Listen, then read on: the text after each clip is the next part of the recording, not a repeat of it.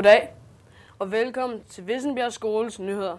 Mit navn er Adrian Rickards, og jeg er jeres vært i dag. På min ene side har jeg Philip med sporten. Hvad har du til os i dag? Jo, i dag der har vi om Super Bowlen, som der blev spillet i søndags. På den anden side, der har jeg Nicoline. Er vinteren snart over? Ja, nogen vil mene, at vi får en meget kort vinter i år, og foråret er på vej. Hmm, det er godt. En af dagens tophistorier foregår lige nu i Rusland, hvor en bevæbnet mand i morges har skudt flere politifolk og taget studerende som gisler i en forstad til Moskva. En af de politimænd, der blev skudt, omkom på grund af sine kvæstelser. En talsmand fortæller, at en mand bevæbnet med et gevær gik ind på skolen i udkanten af den russiske hovedstad og affyrede et skud, der dræbte mindst en politimand, og flere blev såret. Til synlædende er gisseltageren far til en af de studerende. Da manden trængte ind på skolen, blev der til sidst alarm øh, ved en alarmknap. Flere politifolk ankom til området og blev mødt med skud, hvor flere blev såret. OL, som begynder den 7. februar og forløber 14 dage frem, afholdes i år i Rusland, i byen Sochi, som ligger ud til Sorthavet. USA står klar med militær støtte for at gøre OL sikker. USA er klar med både flåde, fartøjer, tropper, fly og tilbyder fuld støtte for at holde det hele sikkert, fortæller talsmand John Kirby fra Pentagon. Militæret vil være til stede fra den 7. til 23. februar i december. I december blev 17 mennesker dræbt og omkring 28 såret i den nærliggende by, hvilken også er grunden til, at USA er opsat på at hjælpe og holde området sikker under OL. Og nu til noget helt andet. Nils Elund foreslår, at man skal øge sessionerne i folkeskolen mod de elever, som skaber uro. Det bakker Dansk Folkeparti op om. Vi skal nu ned til Maja, som står i Odense Skågade, klar til at interviewe folk. Tusind tak, Adrian. Nu vil vi høre folks mening om Nils Elunds forslag. Øh, hvad synes du om Dansk Folkeparti vil øge øh, straffen øh, mod de elever, som ikke hører efter i folkeskolerne? Øh, jeg synes, der er rigelige muligheder for at straffe de børn, som, øh, som ikke kan opføre sig ordentligt. Jamen, det synes jeg ikke, det er i orden, fordi Dansk Folkeparti, de vil bare hæve strafferne inden for både kriminalitet og så videre, og de lægger skylden over på udlænding og så videre. Jeg synes bare ikke, det er i orden, men det er jo dem, der sætter hiver i trådene bagved. Øh, synes du straffe som rengøring på skole, øh, eftersædning, og man kan blive sendt hjem af i orden? Nej, det synes jeg ikke. Hvorfor ikke? Det, det er ikke det, jeg har sådan selv har prøvet i skolerne og sådan noget, så det synes jeg ikke er i orden. Tror du, det ville hjælpe på støjniveauet? Nej, ikke umiddelbart. Nej, slet ikke. Det er ligesom ops, da jeg gik i skole for 25 år siden. Det duer ikke, det der observationsklasse og, og straf. Øh, eftersidning kunne man godt forestille sig. Rengøring, nej. Øh, nej.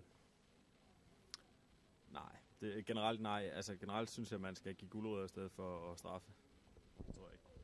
Har du andre forslag til, hvad man så ligesom så kunne gøre for at sænke støjniveauet?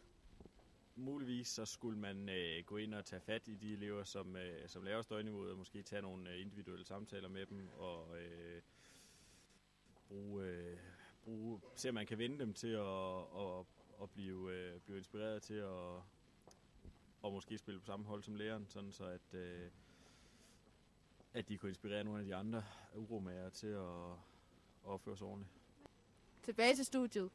Tak skal du have, Maja. Øh, hvor... Niels Elunds forslag har skabt debat, men nu må vi se, hvad tiden viser. Vi fortsætter nu med en helt anden vinkel på de unge. Mange mener, at de unge begynder at drikke riget i en alt for tidlig alder. Men hvornår er det egentlig, at det er i orden at drikke? Det har Mathilde været ude og spørge folk om. Værsgo til dig, Mathilde. Øh, hvor gammel er du? Ja, jeg, jeg er 15, nej 14. 14. Okay, hvor lang tid har du drukket? Jeg har drukket i, i nogle måneder. Jeg tror, det var til min mammas fødselsdag. Drikker du selv? Nej, ikke så tit. Det er Hvorfor ikke? Fordi jeg overgår ikke hovedpinen bagefter. Men hvis dine venner de drikker, hvorfor drikker du så ikke selv? Så kan det godt være, at jeg tager en enkelt eller to. Men jeg, jeg drikker mig ikke for fu- så fuld. Altså, nogen de drikker vel inden for tidlig alder, og andre drikker, når de føler sig klar til det. Drikker du selv? Nej. Hvorfor ikke det, hvis dine venner gør det? Fordi jeg har ikke brug for at drikke mig fuld i allerede nu. Jeg kan godt klare mig uden. Hvor gammel er du? Jeg er 14. Hvad synes du om unge, der drikker alt for tidligt? Det synes jeg er ærgerligt. Øhm, jeg synes, man skal vente med sådan noget, og så skal man få sin debut med alkohol, når, når man sådan er, er klar til det, og ikke er presset ud i det af nogle andre. Så, øh, men øh, ja, det, det, det er godt, hvis det er et problem. Det, det synes jeg er ærgerligt. Hvor gammel var du selv, da du begyndte at drikke? Ja, jeg var forholdsvis sådan ældre. Jeg, jeg tror, jeg var omkring 18 år, men det var, det var så fordi, jeg dyrkede noget sport, som, som ikke rigtig passede sammen med alkohol. Så, så min øh, alkoholdebut, den, den var sen. Hvorfor drikker du, når det faktisk er ulovligt for dig at købe alkohol? Jeg drikker, fordi jeg synes, det er sjovt med mine venner, og når vi siger, der med, med en øl eller to, så kan det da godt lige gå under og hygge, når vi skal se spille og sådan. Så, så, så, så, overtager hyggen skulle lige lidt det. Vi går direkte videre til sporten, hvor vi selvfølgelig skal se på årets Super Bowl. I søndags den 2. februar kunne Seattle Seahawks kalde sig selv mester af dette års Super Bowl, da de vandt kampen mod Denver Broncos øh, med en sejr på 43-8.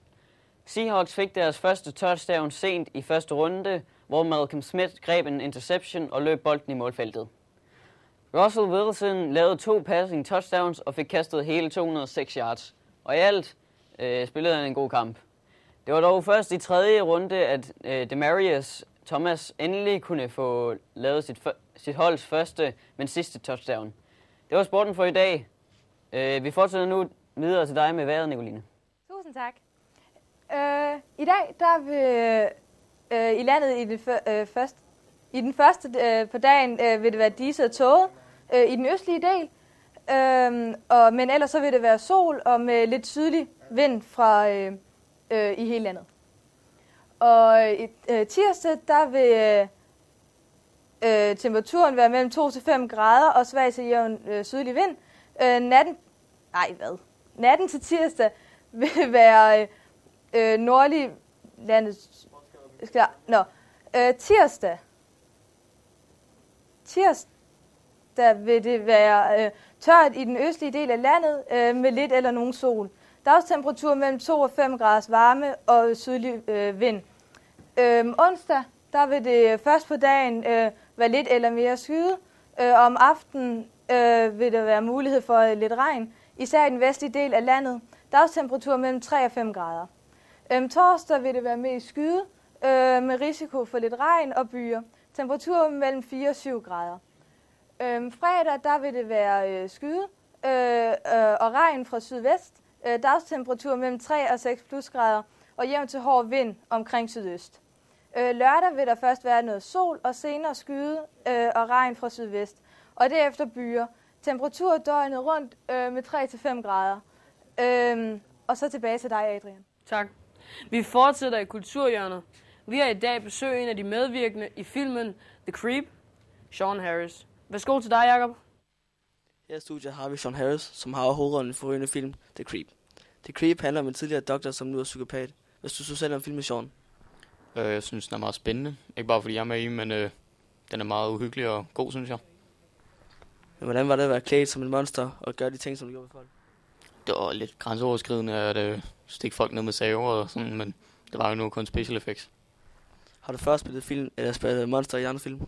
Nej, det har jeg ikke. Jeg har kun spillet kærlighedsfilm og sådan noget. Synes du selv, at The Creep har noget med kærlighed at gøre? En lille smule med The Creep, som jeg spiller, og en af de piger, som han gør noget ved. Som det er der ikke kærlighed over, men ja. Hvordan synes du, det gik med at sprede budskabet i filmen The Creep, hvis der er et? Det synes jeg gik meget godt. Det, øh, altså budskabet var, at alle er ens, altså alle skal behandles ens, øh, også hjemløse og sådan. Det er en af budskabene i filmen. Synes du, det gik om at vise det? Det synes jeg. Der var nogle træk, som viste øh, det meget godt. Tak fordi du var med. Det var så let. Filmen The Creep blev for første gang vist den 10. august 2004, hvor der var omkring 100.000 mennesker inde og se den på premiereaften. Vi fortsætter med en underlig historie. Den 29. januar blev en 50-årig mand øh, taget på færre skærning i at slagte en sort tyk kat. Manden fra den norditalienske provins Brianza havde i løbet af flere måneder adopteret mindst 15 katte fra forskellige herberger rundt i provinsen, som han senere slagtede og spiste. Da manden adopterede katte, kattene, havde han specifikt spurgt efter sorte, buttede katte på omkring tre år. Manden indrømmede den 31. januar, at han havde spist de 15 katte. Han ville få en bøde på 110.000 kroner og en fængselsstraf mellem 3 måneder til et år. Det var, hvad, hvad øh, Vissenbjergs skole nyhedsredaktion havde til jer i dag, den 3. februar. Mit navn er Adrian Rekards, og vi ses samme tid, samme sted i morgen.